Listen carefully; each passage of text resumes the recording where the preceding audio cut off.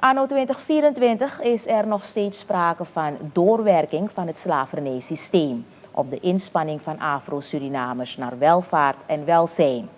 Dit zei Helmut Geesius, onderzoekswetenschapper aan de Anton de Kom Universiteit in Suriname, ADECUS. Gisteren aan onze nieuwsdienst tijdens een expertmeeting in het Nationaal Archief Suriname.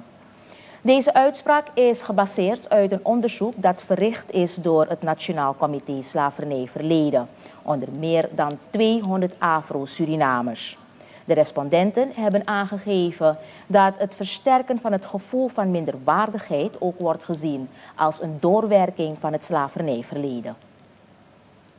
Gebrek aan agency, misschien een moeilijk woord, maar het heeft te maken met het niet durven opkomen ervoor of um, geen risico's willen nemen om positieve zaken te ondernemen. Um, ook de sociaal-economische en maatschappelijke uh, ongelijkheid, volgens de respondenten uh, houdt dat vast.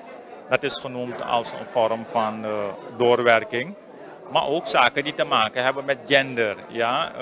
verhoudingen van mannen en vrouwen binnen gezinnen.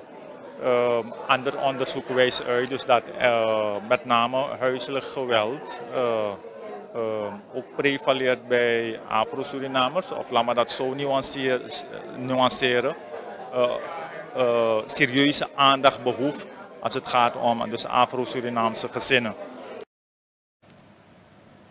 Helmut geeft verder aan dat dysfunctionele gezinnen ook genoemd zijn in het onderzoek als een doorwerking van het slavernijverleden.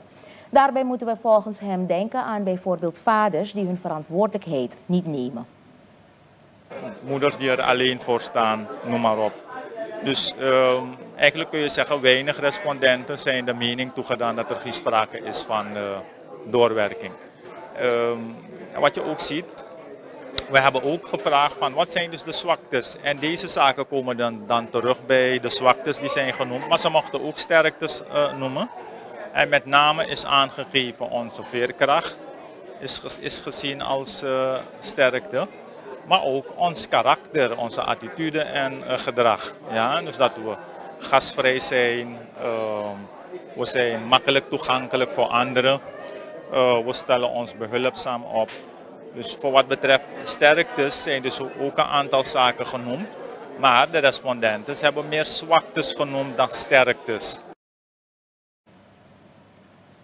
Geesius zegt dat de zwakke punten uit dit onderzoek de Afro-Surinaamse gemeenschap aan het denken moet zetten.